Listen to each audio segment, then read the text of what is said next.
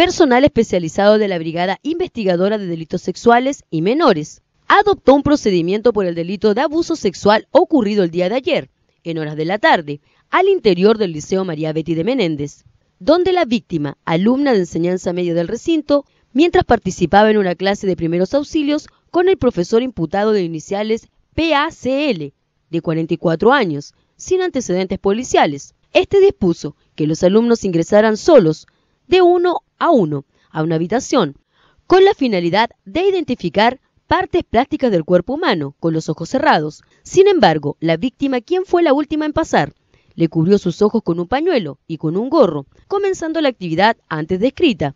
Y en la última parte, aprovechando esta situación, le puso entre sus manos sus órganos genitales, lo que fue advertido en forma inmediata por la afectada, quien no continuó con la actividad. Finalmente, el profesor imputado se percató que la alumna se encontraba afectada y que lo había descubierto, por lo que se retiró antes de finalizar su horario de clases del recinto educacional. Las dirigencias adoptadas en coordinación con la Fiscalía Local dieron resultados positivos, logrando la ubicación de esta persona.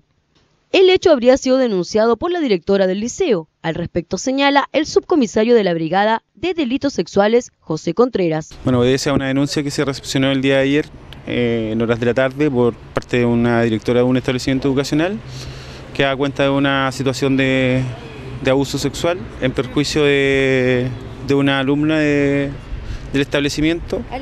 Los hechos fueron comunicados al fiscal especialista de, delitos sexuales y un trabajo en conjunto con la fiscalía, bueno, se logró la detención de una persona en situación de flagrancia por eh, el delito de abuso sexual adolescente. El imputado pasó a control de detención en la jornada de esta mañana para posteriormente ser llevado por la Brigada de Delitos Sexuales hasta la Fiscalía para ser formalizado por el delito de abuso sexual cometido al interior del Liceo María Betty.